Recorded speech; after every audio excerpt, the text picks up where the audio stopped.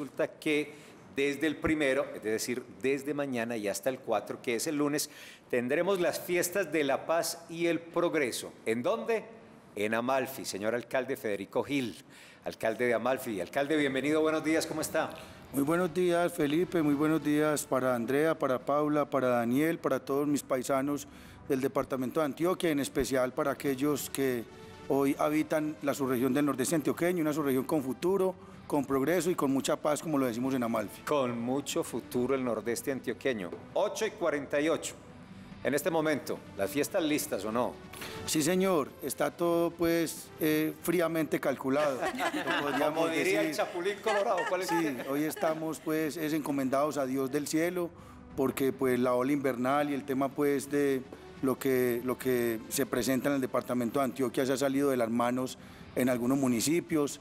Eh, los responsables somos todos, principalmente el hombre, pues por nuestras acciones de supervivencia, eh, los ganaderos, los madereros, los constructores, nosotros también los mineros hemos eh, aportado allí la ampliación de la frontera agrícola, pero vamos para adelante. La subregión del Nordeste está preparada, ha afrontado bien el invierno y hemos tenido un gran apoyo de nuestro gobernador y de, pues, de Enrique, el director del Dragán, de nuestro amigo Luis Fernando Suárez, y ahí vamos para adelante con las horas de mitigación y con la limpieza de derrumbes y ante todo siempre hay que mantener eh, habilitado por donde corre el agua, que son las horas de saneamiento básico y todo el tema del manejo de escorrentía.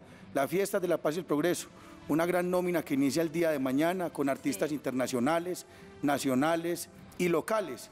Eh, por primera vez los internacionales Rayos de México estarán en el municipio de Amalfi, también Maki, el reggaetonero desde Puerto Rico, tendremos artistas vallenateros como Jorge Celedón, Nelson Velázquez, tendremos a Luis Alberto Posada, los Corraleros de Majagual, Julio Jaramillo de Yo Me Llamo, la Orquesta Frenesí, eh, la Orquesta Tropicombo, tendremos ah, los cantores de lujo, eh, Cuco y Coronel. Y algo muy especial, Felipe, para que todos los antioqueños tengan en cuenta, 73 artistas amalfitanos tendrán la posibilidad y serán tratados igual que Jorge Celedón y que Luis Alberto Posada. 80 mil vatios de sonido, una nómina que, y una programación que desde las 12 del día hasta las 5 de la mañana estará pues habilitada para los usuarios. No habrá VIP, no habrá palcos, todos estaremos al mismo nivel, eh, no se cobrará entradas ni nada de ese tipo, ni, ni, apartar pues una mesa en los caspetes, todos podrán participar, la fuerza pública nos está ayudando, aproximadamente 100 unidades de ejército y policía estarán reforzando el municipio con más paz del nordeste y con menores índices delictivos en todos pues, los temas de violencia. Alcalde, y cuéntenos cómo están preparados en materia de infraestructura, los hoteles, me imagino que hay casas también para hospedarse, ¿cómo puede llegar la gente allí y quedarse en Amalfi? Amalfi tiene 13 hoteles, desde buenos hasta muy buenos humildemente, ¿cierto? Y también el tema de la cultura de las Paola le consta. Me consta. Le consta. Paola quiere mucho a Malvi. Sí, sí, Paola vive enamorada. No, no pero en esto, pues, corazón. Sí. Eh, pero hoy estamos todos copados. Aún no tenemos la cultura de alquilar de pronto casafincas o arrendarlas, pero la necesidad y la oferta pues va generando pues estos espacios, ¿cierto? Hoy estamos arrendando en Amalfi o alquilando hasta una colchoneta, porque más de uno le va a tocar dormir en ese parque, pues que es de casi una hectárea, y vamos a tener fuera de las cuatro esquinas del parque, vamos a ampliarnos otras cuadras más. Eh, serán unas requisas también que se harán porque nadie puede tener ni un corta uñas en la festividad debido a evitar alguna agresión o alguna lesión. Entonces estamos preparados, pero también tenemos que decir que hoy estamos copados.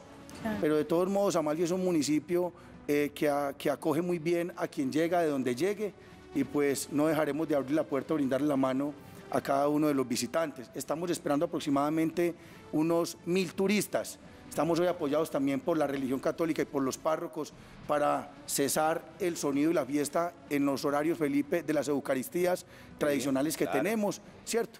Y porque pues ante todo la fe de Dios inauguraremos esta fiesta con una hermosa Eucaristía eh, liderada por los dos párrocos de nuestras dos parroquias. También tendremos una hora de expresión cristiana y evangélica de las alabanzas ministeriales de algunas misiones cristianas y bueno, pantallas de última generación. Es que no se le escapó nada, pues. Relevo para artistas y sonido. Soy un enamorado de mi tierra, de verdad que sí. Yo le tengo una pregunta. ¿Por qué de la paz y del progreso y no del tigre, del jaguar, de la bicicleta, sino de la paz y el progreso? Paula, Amalfi fue un municipio eh, fundado en 1838 por el presbítero Juan José Rojas. y en 1843 fue erigido municipio. A partir de ahí, el mes de octubre siempre ha sido el mes donde se han llevado a cabo las festividades. Desde allí se bautizó el tema de paz y de progreso, porque siempre, como fuimos un municipio donde nació tanto la guerra, hemos soñado con esa paz duradera y sostenible, ¿cierto? Por eso todos los acuerdos de paz que se han firmado en Colombia son exitosos en Amalfi. Y del progreso, porque somos una tierra de progreso. 121 mil hectáreas que produce el mejor café del Nordeste, cacao, panela. Somos los mayores productores de cabulla y de fique de todo Sudamérica. Uno de los mejores oros de mejor valor a nivel de Sudamérica también. Arcillas, calizas, mármol, madera, hortalizas, cerdos, ganadería.